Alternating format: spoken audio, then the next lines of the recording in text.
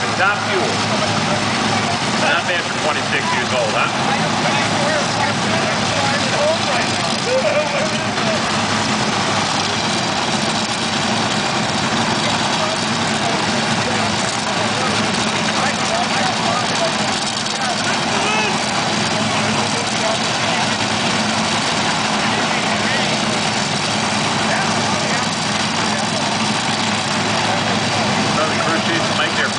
Adjustments. And if they can't get that 4-0 range. Tell us you're not running 4-0s or something here this round. You're not going to be happy.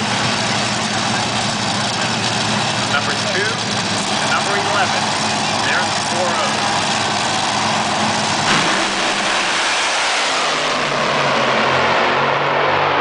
There's another pair of 4-0s. Boy, Torrance had a great run going. You saw his planes go out there. 4.02. Look at that top speed of the meet for J.